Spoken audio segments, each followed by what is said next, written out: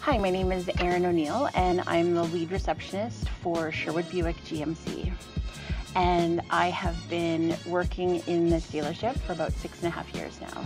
So, one of the things I love about my job is that I am able to help people um, find solutions for their day. And so, for me personally, it's something that I absolutely love. I love having people come into the dealership and welcoming them with um, a really big smile and, um, you know, being willing to help in any way that I can and to go above and beyond. I also really hope that I've taught my team, my reception team, um, that same passion when it comes to people.